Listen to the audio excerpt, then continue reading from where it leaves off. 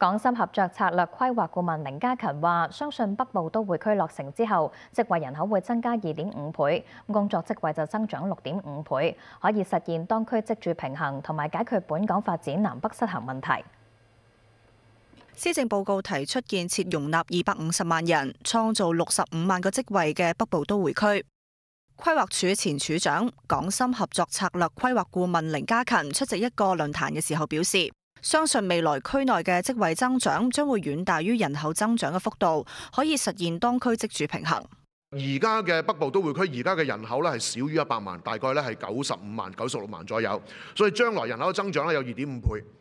而家北部都會區嘅工作職位大概十一萬個，將來嘅工作職位增長咧係六點五倍，大力咁樣改變咗我哋而家南北發展失衡嘅態勢。我哋而家喺北部都會區裏邊咧，一間大學都冇，一間大嘅醫院都冇。一啲好誒好耀眼嘅誒民康設施都冇。啊，將來我哋當我哋諗我哋呢個北部都會區要有啲乜嘢公共服務設施嘅時候呢，我哋係要從一個都會區級數嘅高度去考慮。佢話北部都會區嘅發展過程未必一帆風順，亦都離唔開改變中地發展等，以提供更多土地，希望市民理解。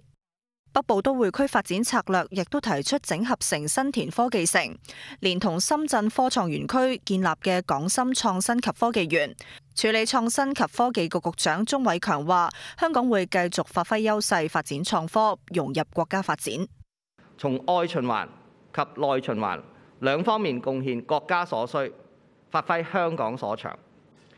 香港會繼續完善創科生態圈，全面覆蓋科研啦。融資、生產至市場化，同時與深圳以至大灣區嘅創科發展相輔相成。佢又話：港深創新及科技園而家正係全速施工，預計二零二四年年底分階段落成第一批八座樓宇。無線電視記者吳心如報道。